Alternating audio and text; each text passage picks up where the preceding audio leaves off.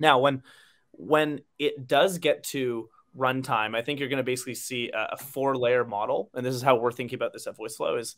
Um, you're going to have these large language models, which uh, everyone's going to have access to. It's going to be OpenAI, it'll be a Cohere, it'll be, you know, there's a whole bunch of them, uh, uh, you know, and cer- certainly sort of the big vendors. Think about that as like the knowledge of the world, right? So, like, let's imagine you're training like a Starbucks barista.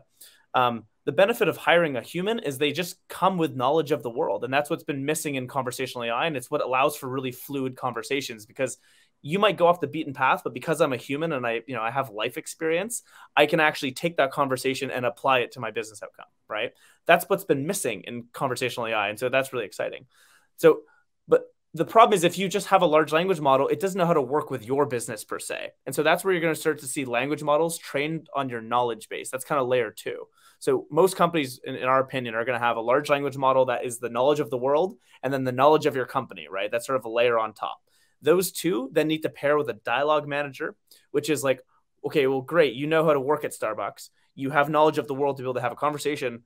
What's like what's your goal, right? Because these like these AIs are not conscious, and so you ultimately do need to have like a level of prompt engineering and a level of like what is the actual business objective.